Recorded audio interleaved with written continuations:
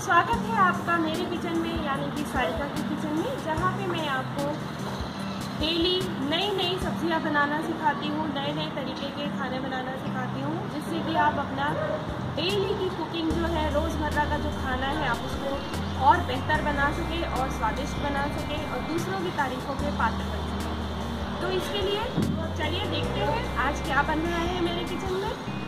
आज मैं आपको घर पे चिली फ्लेक्स बनाना सिखाने जा रही हूँ। कोई भी इटालियन इटालियन डिश है, वो चिली फ्लेक्स के बिना पूरी नहीं होती है।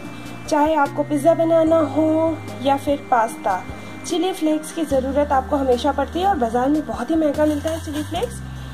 चलिए, मैं आपको बहुत ही आसान तरीके से घर पे बनाना सिखा दे देती हूँ। वो भी नॉर्मल मिर्च के साथ में।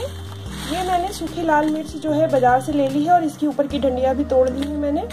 अब ये मिर्ची आप देखिए कैसी है। ये ज़रूरी एकदम खास बात है ध्यान रखने वाली, ये देखिए। पूरी तरीके से फोल्ड हो जा रही है, ये ज़रा भी सूखी हुई नहीं है, पूरी तरीके से ऐसे फोल्ड हो रही है। बस ऐसी ही मिर्ची हमें लेनी है और फटाफट दो मिनट में हमारे चिली फ्लेक्स तैयार हो जाएँगे। चलिए फिर मैं बताती हूँ आपको आगे क्या करना है।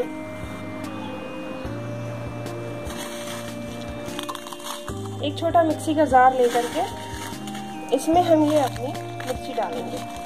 ये मिर्ची बहुत अच्छे से ध्यान रखिएगा कि ये पूरी तरीके से ऐसे फोल्ड हो रही हो, जरा भी कुरकुरी ना हो एकदम, ऐसे। चलिए इसे ग्राइंड करते हैं।